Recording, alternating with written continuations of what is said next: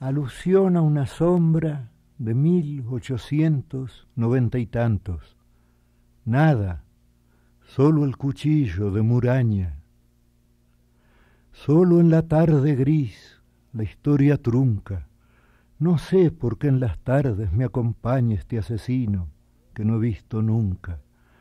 Palermo era más bajo, el amarillo paredón de la cárcel dominaba arrabal y barrial, por esa brava región anduvo el sórdido cuchillo, el cuchillo, la cara se ha borrado, y de aquel mercenario cuyo austero oficio era el coraje, no ha quedado más que una sombra y un fulgor de acero, que el tiempo que los mármoles empaña, salva este firme nombre, Juan Muraña.